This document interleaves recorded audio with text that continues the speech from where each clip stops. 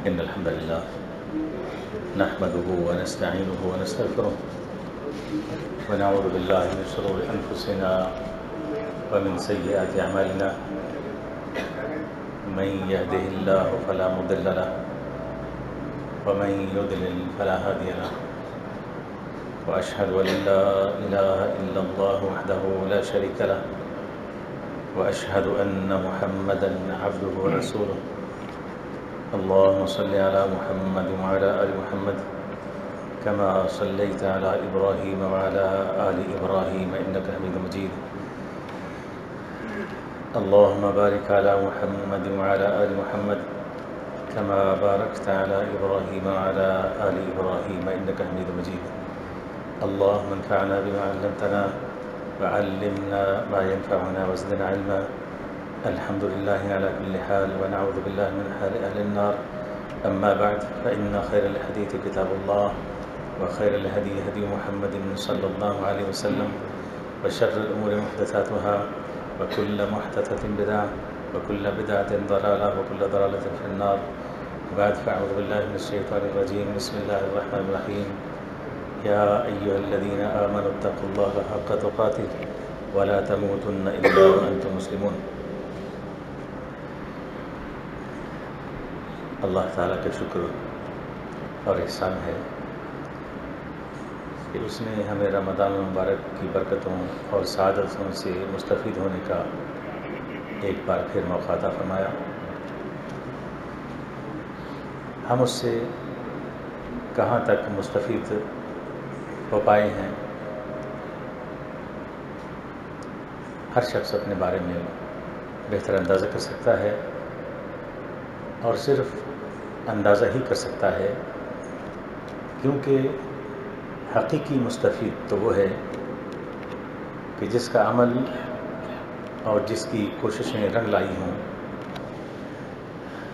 شرف قبولیت سے نوازی گئی ہوں اور یہ اللہ تعالیٰ کے سوا کوئی نہیں جانتا۔ اور جیسا کہ حضرت علی رضی اللہ تعالیٰ عنہ رمضان مبارک کے آخری روز فرمایا کرتے تھے، یا لیت شعری من المقبول فنحنی و من المحروم فنعزی۔ اے کاش ہمیں معلوم ہو کہ کون قبول ہوا کہ ہم اسے مبارکباد دیں اور کون محروم رہا کہ ہم اس سے تعزیت و افسوس کریں۔ گویا کہ اللہ تعالیٰ نے رمضان مبارک کی صورت میں توبہ استغفار کا اور تلافی معافات کا موقع عطا کر کے ہم پر جو احسان فرمایا ہے، اس کے اختتام پر ہمیں غور و فکر کرنا چاہیے اور نفع و نقصان کا جائزہ لینا چاہیے کہ ہمیں اس ماہ مبارک میں کوئی فائدہ ہوا ہے یا ہم خسارے میں رہے۔ ہیں دنیا کے کاروبار میں سال کے اختتام پر نفع و نقصان کا جائزہ لینے کی ضرورت و اہمیت سے ہم سب اچھی طرح واقف ہیں۔ مگر آخرت کے بارے میں ہم میں سے اکثر لوگ اس معاملے میں کوئی دلچسپی رکھتے نظر نہیں آتے۔ اور سبب اس کا یہ ہے کہ آخرت کے نفع و نقصان کی اہمیت اور سنگینی سے کما حق وہ واقف نہیں ہے۔ حالانکہ اصل خسارہ تو آخرت کا خسارہ ہے، جیسا کہ اللہ فرماتے ہیں، قل ان الخاسرین الذين خسروا انفسهم واهليهم يوم القيامه الا ذلك هو الخسران المبين۔ کہہ دیجیے کہ حقیقی زیانکار اور خسارے والے لوگ وہ ہیں جنہوں نے قیامت کے روز اپنے آپ کو اور اپنے اہل و عیال کو گھاٹے میں ڈال دیا۔ خوب جان لو کہ یہی کھلا خسارہ اور نقصان ہے۔ دنیا کے کاروبار میں اگر آدمی کم از کم سالانہ نفع و نقصان کا جائزہ نہ لے، تو آدمی کو ناقابل برداشت اور ناقابل تلافی نقصان بھگتنا پڑ سکتا ہے کہ اگر بغیر حساب کتاب کے مسلسل کئی سال تک کاروبار کرتا رہے اور آخر میں پتہ چلے کہ اس نے تو سارے کا سارا راس مال ہی ضائع کر دیا ہے،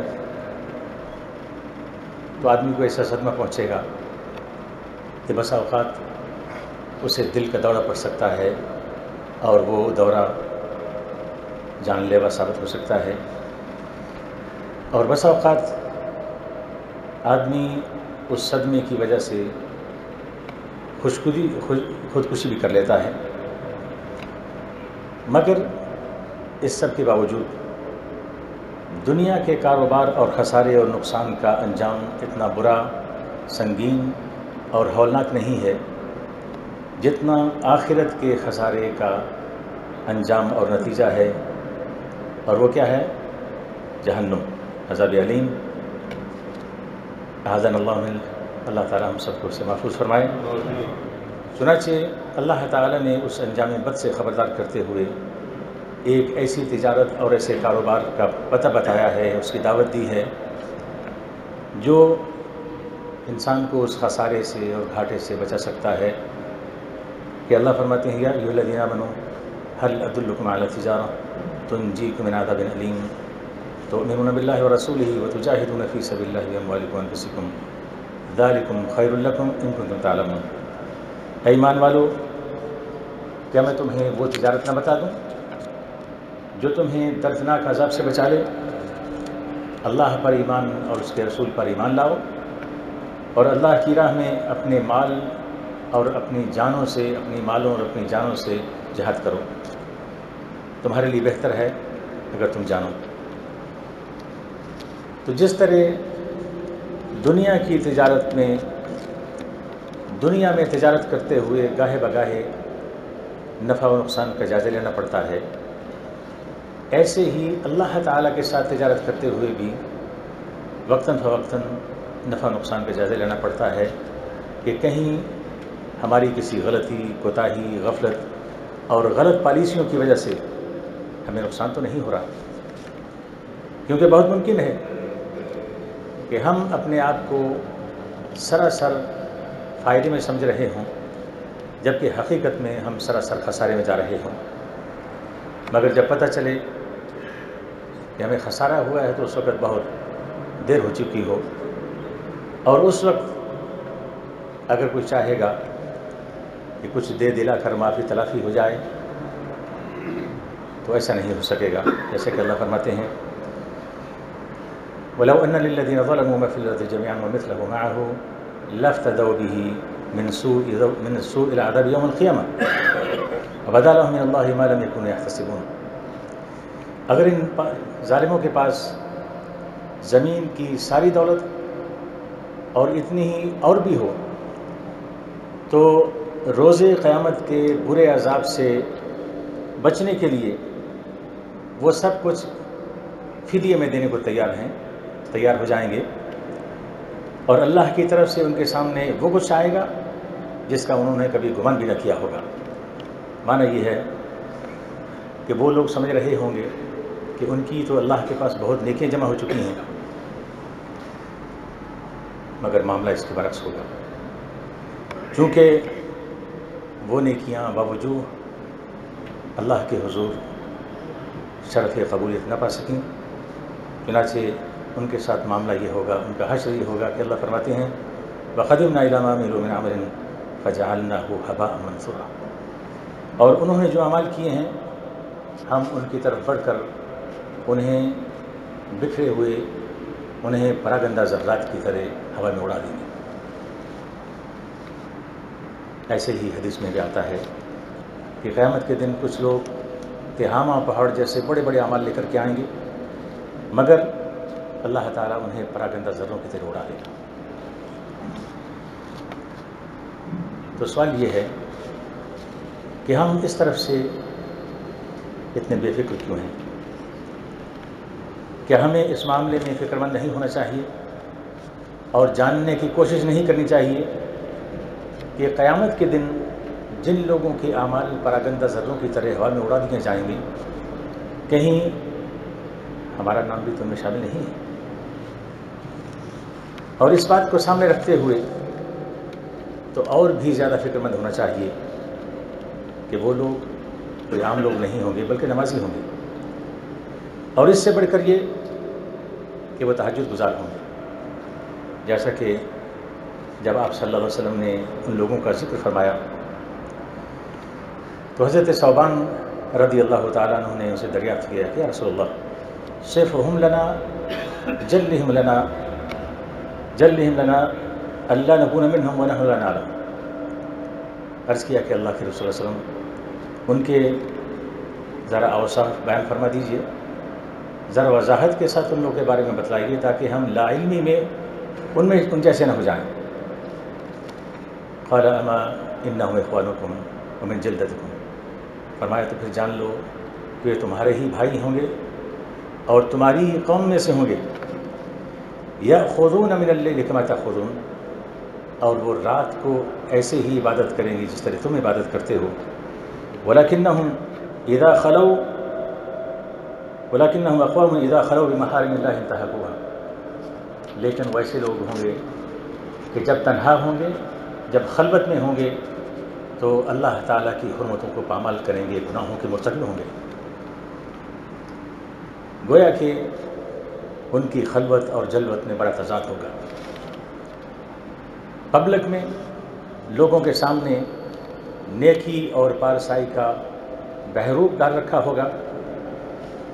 اور خلوت میں وہ اپنی اصلی حالت میں ہوں گے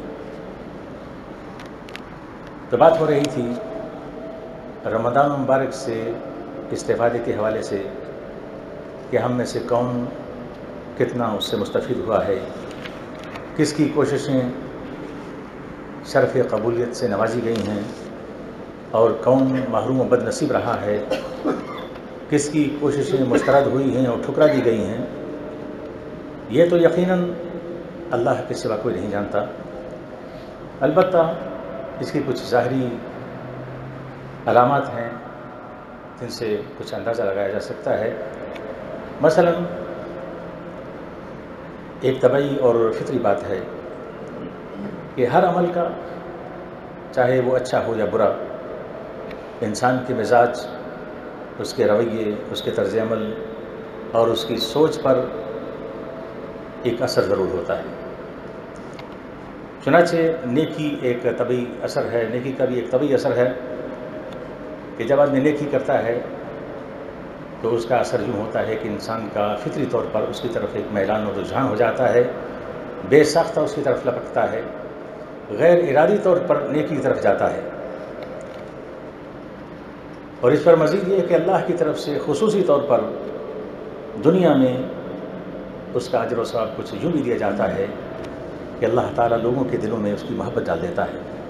جیسا کہ اللہ فرماتے ہیں، ان الدین امن و امن الصالحاتی سیاجار الحم الرحمٰن الدا جو لوگ ایمان لائے ہیں اور عمل صالح کرتے ہیں، اللہ تعالیٰ قریب ان کے لیے لوگوں کے دل میں محبت ڈال دے گا۔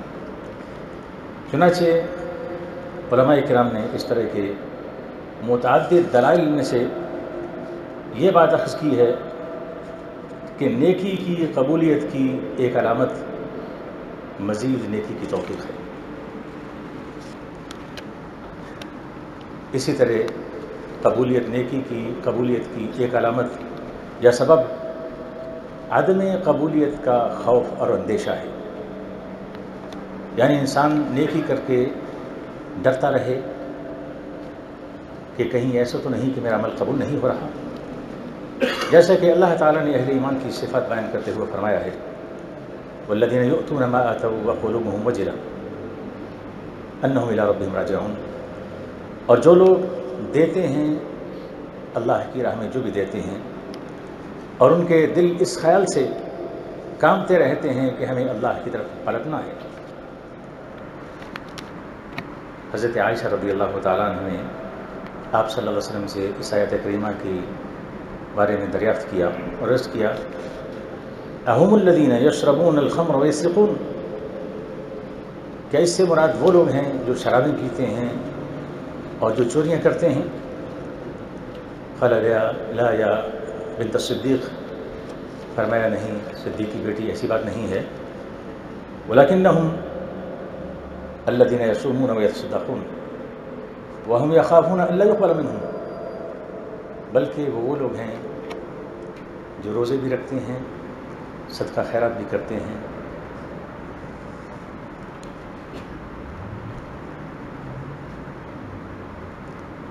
مگر ڈرتے رہتے ہیں۔ کہ کہیں ایسا تو نہیں کہ ان کے اعمال اللہ کے حضور قبول نہیں ہو رہے۔ اولا اک الدین فی الخیرات۔ اولا اک الدین فی الخیرات۔ وہی لوگ ہیں جو نیکیوں میں بڑھ چڑھ کر حصہ لیتے ہیں، اس کی طرف دوڑتے ہیں۔ تو اہل ایمان کی یہ خوبی اور صفر بیان کی گئی ہے کہ وہ نیکی کر کے اتراتے نہیں بلکہ ڈرتے ہیں۔ یہ کہیں ایسا تو نہیں کہ ان کی نیکی قبول نہیں ہو رہی۔ اور اس ڈر، خوف اور اندیشی کی وجہ یہ ہے کہ وہ سمجھتے ہیں کہ کہیں ہم سے کوئی کمی کوتاہی ہو گئی ہو۔ کہ حقوق ہم نے نیکی، ہم نیکی کر نہیں پائے اس لیے قبول نہیں ہوئی۔ یا کہیں ایسا تو نہیں کہ ہمارے گناہ اتنے زیادہ ہیں کہ نیکیاں انہیں مٹانے کے لیے کافی نہیں ہیں، اس لیے وہ ڈرتے ہیں۔ تاہم نیکی کے بعد آجزی اور ان کے ساری ہی مسلمان کا شیوا ہے۔ اعجاب و استقبال اسے زیب نہیں دیتا۔ انسان اگر کوئی نیکی کر لیتا ہے تو اس میں اس کا کیا کمال ہے؟ توفیق تو اللہ ہی نہیں دی تھی۔ تو پھر اس پر اکڑنا کیا اور اترانا کیا؟ اہل جنت جب جنت میں داخل ہوں گے، جنت میں بیٹھے ہوئے، اللہ کا شکر ادا کرتے ہوئے اس بات کا اعتراف کریں گے کہ جنت کا حصول اللہ کی توفیق اور اس کے فضل کے بغیر ممکن نہ تھا۔ چنانچہ کہیں گے وقالو الحمد للہ حدان لہٰذا وما كنا لنهتدي لولا ان هدانا اللہ اللہ کا شکر ہے تمام تاریخیں اس کی ہیں کہ جس نے ہمیں راستہ دکھایا، ہم خود راہ نہ پا سکتے تھے اگر وہ ہمیں راہ نہ دکھاتا۔ تو جنت کا راستہ، جنت کا حصول محض اللہ کی توفیق سے ہے۔ تو پھر اس پر اترانا کیا؟ اب چھوٹی سی نیکی کر کے، جیسے ہم بڑی نیکی سمجھتے ہیں، اس پر کیا اترانا ہے؟ لہذا اترانا نیکی پر اور اکڑنا انسان کو زیب نہیں دیتا۔ اور اس لیے بھی زیب نہیں دیتا کہ چاہے انسان کتنی ہی نیکیاں کر لے، ایک تو یہ ہے کہ وہ نیکی کا حق ادا نہیں کر سکتا۔ کہ جس طرح وہ عبادت کرنی چاہیے، جس طرح نیکی کرنی چاہیے، یقیناً اس کا حق ادا نہیں کر سکتا۔ اور پھر نیکی کر کے وہ اللہ تعالیٰ کا کما حق و شکر ادا نہیں کر سکتا۔ ساری زندگی کی عبادت اللہ تعالیٰ کی کسی ایک نعمت کے برابر نہیں ہو سکتی۔ چنانچہ اسلام نے انسان کو عبادت کے بعد ان کے ساری ہی کا درس دیا ہے۔ جیسا کہ حدیث میں ہے کہ کہنا رسول اللہ صلی اللہ علیہ وسلم ادن صرف صلاحی ہی استغفر ثلاثا۔ کہ آپ صلی اللہ علیہ وسلم جب نماز سے فارغ ہوتے تو تین بار استغفر اللہ کہتے۔ اور پھر اس کے بعد دیگر دعاؤں میں سے یہ دعا بھی تھی اللہ آئینی اعلیٰ ذکری کو شکری کو حسن عبادت اے اللہ، تو اپنی یاد اور ذکر پر میری مدد فرما۔ اور اپنے شکر اور اچھے طریقے سے عبادت کرنے پر میری مدد فرما۔ تو اللہ کی توفیق اور مدد کے بغیر نیکی ممکن نہیں، اور نیکی کرنے کے بعد توبہ و استغفار، یہ مسلمان کا شیوا ہے۔ آج ان کی ساری اس کا شیوا ہے۔ تکبر شیطان کا طریقہ کار ہے۔ اس لیے کسی بھی نیکی اور عبادت کے بعد ایک مسلمان کا رویہ، اس کا طرز عمل، اس کی کیفیت، اس کی سوچ، اس کے جذبات اور احساسات ہمیشہ عاجزانہ ہونے چاہئیں اور اعتراف اعتراف قصور ہمیشہ رہنا چاہیے کہ شاید اسے کہیں کمی کوتا ہی رہ گئی ہو۔ عبادت کے بعد ہمیشہ انسان کو انکساری کے ساتھ رہنا چاہیے آپ کو معلوم ہے کہ فرشتے اللہ تعالیٰ کی ایسی مخلوق ہے جو اللہ تعالیٰ کا ہر حکم بجا لاتے ہیں اور ہر کس نافرمانی نہیں کرتے؟ جیسا کہ اللہ فرماتے ہیں، لا یاسن اللہ امرحم وہ یا فارون مرون جو کبھی بھی اللہ کے حکم کی نافرمانی نہیں کرتے، اللہ جو انہیں حکم دیتا ہے، اسے بجا لاتے ہیں۔ اور ایک جگہ فرشتوں کے بارے میں فرمایا، لا يستكبرون عن عبادته ولا يستحسرون اور جو فرشتے اس کے پاس ہیں، نہ وہ تکبر کرتے ہوئے اس کی عبادت سے اعراض کرتے ہیں اور نہ ملول کرتے ہیں یعنی انہیں وہ عبادت ناگوار نہیں گزرتی اور وہ اس سے تھکتے نہیں ہیں۔ جو سب بےخون اللہ النہار اللہ اخترون صبح و شام، دن رات اللہ کی تسبیح بیان کرتے رہتے ہیں اور ذرا سی بھی سستی نہیں کرتے۔ اور ایک حدیث میں ہے، ایسے ہی فرشتوں کے بارے میں، کہ جو اللہ کا ہر کو مانتے ہیں اور اللہ کی ہرگز نافرمانی نہیں کرتے، ان کے بارے میں حدیث میں ہے۔ ان للہ ملائکۃ ترعد فرائصهم من خیفته۔ اللہ کے کچھ فرشتے ایسے ہیں جو اللہ کے ڈر سے ہمیشہ کانپتے رہتے ہیں۔ ما منهم ملك تقطر منه دمعة من عينه إلا بقت على ملك يصلي. ان میں سے ہر فرشتہ اس کی آنکھ سے جو آنسو رہتا ہے وہ کسی نہ کسی سجدہ ریز فرشتے کے اوپر گرتا ہے یعنی اتنے زیادہ فرشتے ہیں وَإِنَّ مِنْهُمْ مَلَائِكَةً سُجُودًا مُنْدُ خَلَقَ اللَّهُ السَّمَاوَةِ وَالْأَرْضِ لَمْ يَرْفَعُوا رُؤُسَهُمْ وَلَا يَرْفَعُنَهِ لَا يَوْمَ الْقِيَامَةِ اور ان میں سے کچھ فرشتے ایسے ہیں کہ جب سے اللہ نے انہیں پیدا فرمایا ہے، تب سے لے کر قیامت تک وہ سر بسجود رہیں گے، سر نہیں اٹھائیں گے، نہ کبھی اٹھایا ہے۔ وَإِنَّ مِنْهُمْ مَلَائِكَةً رُكُوعًا لَمْ يَرْفَعُوا رُؤُسَهُمْ مُنْذُ خَلَقَ اللَّهُ السَّمَاوَاتِ وَالْأَرْضِ وَلَا يَرْفَعُونَ إِلَى يَوْمِ الْقِيَامَةِ۔ اور کچھ فرشتے ایسے ہیں کہ جب سے اللہ تعالیٰ نے انہیں پیدا فرمایا ہے، تب سے رکوع میں ہیں اور قیامت تک وہ رکو سے نہیں اٹھیں گے سب نہیں اٹھائیں گے فإذا رفعوا رؤوسهم نظروا إلى وجه الله عز وجل. جب سر اٹھائیں گے قیامت کے دن اللہ کا دیدار کریں گے قال سبحانك ما عبدناك حق عبادتك. اللہ اللہ کے دیدار کریں گے دوسرے کہیں گے اللہ تو پاک ہے، ہم نے تیری عبادت کا حق ادا نہیں کیا۔ یعنی وہ فرشتے جن کی اس طرح کی عبادت ہے اور اس کے باوجود اپنی عبادت کو حقیر جانتے ہوئے یہ عرض کر رہے ہیں کہ ہم نے تیری عبادت کا حق ادا نہیں کر سکے۔ جب فرشتوں کا یہ حال ہے کہ وہ اپنی اس عبادت کو اللہ تعالیٰ کے حق عبادت کے سامنے حقیق جانتے ہوئے یہ کہتے ہیں کہ سبحانک ما عبدنا بحق عبادتک۔ تو پاک ہے، ہم تیری عبادت کا حق ادا نہیں کر سکے۔ تو ہماری کیا حیثیت ہے؟ ہم میں سے کوئی شخص اگر رمضان مبارک میں ٹوٹی پھوٹی عبادت کر کے یہ سمجھ لے کہ اس نے بہت کمال کر دیا ہے۔ اس نے بہت نیکیاں جمع کر لی ہیں اور پھر اس کے بعد گیارہ مہینے چھٹی پر چلا جائے تو ایسے شخص کو کیا کہیں گے؟ ایسے شخص کے بارے میں صرف نہیں کہہ سکتے ہیں کہ اسے چاہیے کہ اللہ کو راضی کر لے۔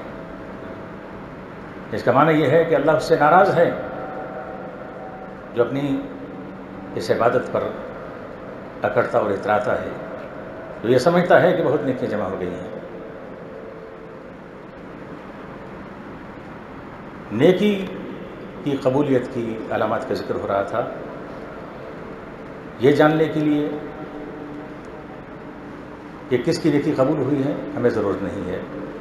ہمیں جو چیز فائدہ دے گی، وہ ہے کہ اپنے گریبان میں جھانکیں اور اپنے بارے میں دیکھیں اور سوچیں ایمانداری سے کہ کیا ہماری نیکی قبول ہوئی ہے کہ نہیں۔ بہت سی علامات ہیں، مگر ایک علامت یہ ہے کہ نیکی کے بعد نیکی کی مزید نیکی کی توفیق حاصل ہوتی ہے۔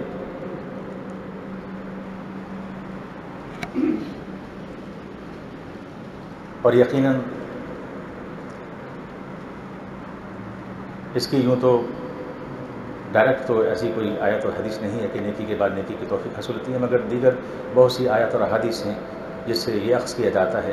جیسے یہ ہے کہ من تقرب علی شبرم تقرب تو علیہ ذرا۔ حدیث قدسی اللہ فرماتے ہیں کہ جو شخص ایک بالشت میرے قریب ہوتا ہے، میں ایک ہاتھ اس کے قریب ہو جاتا ہوں۔ تو بالشت کے مقابلے میں بالشت ہو گئی، مگر ایک ہاتھ تک اس سے قریب ہونا، یہ اس کے قریب ہونے کے نتیجے میں ہے۔ وہ جو اللہ کے قریب ہوئے ہیں اللہ نے مزید اسے اسے اور قریب کر لیا ہے۔ تو اس طرح کی آیات اور حدیث ہیں۔ ہمیں اپنے گریبانوں میں جھانکنا چاہیے اور دیکھنا چاہیے۔ حقیقت یہ ہے